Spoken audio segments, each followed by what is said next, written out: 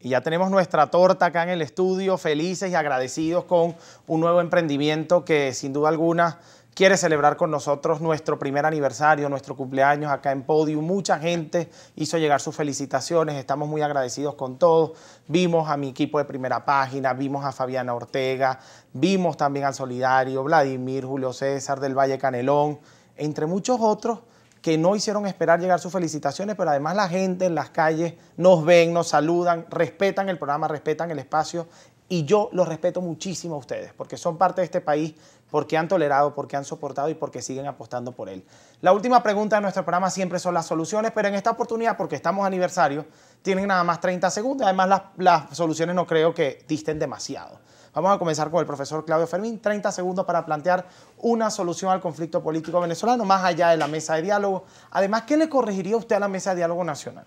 Yo creo que la mesa de diálogo, que es una experiencia necesaria, por cierto, esta no es la primera. Antes de nosotros llegar, ya Henry Ramos, Julio Borges, Manuel Rosales tenían tres años dialogando. Pero esta mesa todavía es muy tímida, esto es muy tímido. Venezuela está hundida en un fracaso económico y aquí hay hambre, los servicios públicos desmantelados, el país aislado internacionalmente. Venezuela necesita un gran acuerdo nacional para sacar adelante al país. La mesa todavía es muy tímida.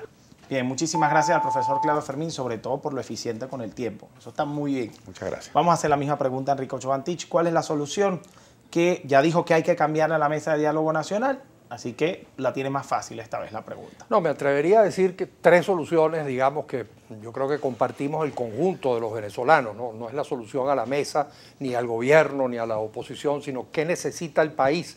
Diría que en primer lugar reinstitucionalizar al Estado, reconstitucionalizar a las instituciones, elegirlas de acuerdo a, como está mandado por la, por la Constitución, reconstruir las fuerzas productivas y la infraestructura nacional y sin lugar a dudas reconciliar a todos los hijos de la patria, que sin eso es difícil que pueda haber cualquier otra solución. Muchísimas gracias a ustedes. Gracias a ti, gracias. Gracias a ambos por estar acá celebrando nuestro aniversario. Quiero llamar a mi productor José Enrique Robles, por favor, vente al estudio a mi esposa, que también fue fundadora de este programa como productora, además de Ilene Gili, que no puede estar hoy con nosotros, pero seguramente lo está celebrando. Ella fundó la producción de este programa. Estoy feliz de compartir con ustedes mi primer aniversario. Agradecido con mis compañeros de trabajo, Beatriz Lugo, que también la vimos por allí. Muchísimas gracias por felicitarme y por ser parte también de este sueño y de este proyecto. A los camarógrafos, a los luminitos, al BTR, al director, todos los que puedan venir a la toma, no sé si el director se los permita porque es bastante estricto, por favor acérquense acá. Los invitados también, ¿no? Claro, claro, acérquense, ustedes ya están en la toma, vénganse, por favor, BTR, luminitos, asistentes, operadores de audio, adelante, así, escuélense en la toma, que si no fuese por ustedes, este programa no sale al aire.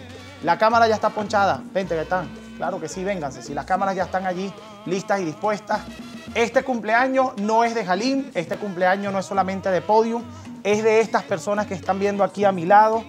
Acá está mi productor José Enrique Roble, que hizo posible este programa aniversario. Mi esposa fundadora del programa como productora también, junto a Ilene Gili, otro equipo bastante interesante, a quienes les doy mi agradecimiento porque llevaron adelante este proyecto y a todos nuestros anunciantes también, a los que confían en el programa para anunciar, porque de eso también vivimos en Venezuela, vivimos los periodistas, y esto también llega a sus hogares gracias a ellos. Agradecidos la torta, por supuesto, a Katiuska Flores, ella es de Cake Shop KF, importante que la sigan en redes sociales, muy agradecido contigo, una torta genial, bellísima, ojalá sepas también cómo se ve, nuestros invitados y todo el equipo técnico de producción vamos a compartir nuestro cumpleaños una vez más.